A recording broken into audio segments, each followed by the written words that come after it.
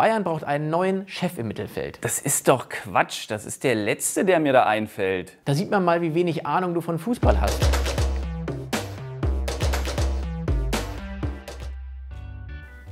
Man dachte schon, es geht bergauf und schon gibt es die nächste Enttäuschung gegen Leipzig. Bei Bayern müssen sie jetzt wirklich durchgreifen, wenn es um die Planung für die neue Saison geht. Was meinst du? Na, die müssen umbauen und da müssen einfach Leute gehen. Hä?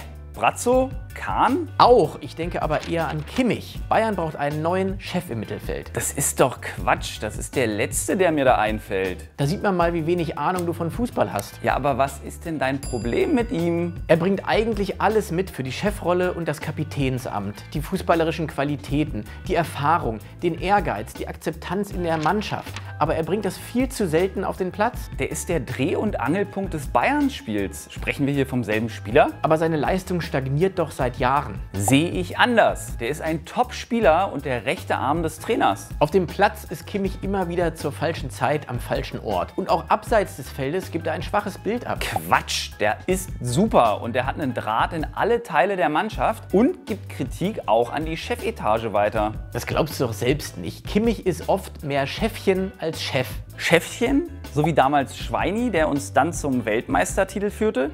Kimmich ist nicht das Problem. Goretzka hat eine schwache Saison gespielt. Ja, Goretzka hat auch geschwächelt. Nicht auch. Goretzka schwächelt, Kimmich nicht. Nein, beide haben geschwächelt. Und wenn wirklich ein Verein wie Real Madrid Interesse an Kimmich haben sollte und er vielleicht sogar ins Ausland wechseln möchte, sollte man ihn einfach gehen lassen. Und dann steht Bayern im Mittelfeldzentrum blank da. Nein, Beispiel Real Madrid, da könnte Bayern auf ein Tauschgeschäft drängen. Kamavinga, Valverde, Chouameni, da gibt es tolle Spieler und wenn Kimmich hingehen würde, wäre da einer zu viel. Und einer von denen soll jetzt Chef bei Bayern werden und besser als Kimmich sein? Einer von denen wäre eine gute Ergänzung zu einem wirklichen neuen Chef. Verratti von Paris oder Kovacic von Chelsea. Noch ein Wunsch? Warum sollen die denn zu Bayern kommen? Weil Bayern einer der größten Clubs der Welt ist? Das ist so lächerlich, was du hier erzählst. Die Bayern haben kein Chefproblem. Und wenn überhaupt jemand ein Chefchenproblem hat, dann sind wir das hier. Mich meinst oder was? Das ist ja eine Frechheit. Das nehme ich persönlich. Du alter Sauhund. Siehste?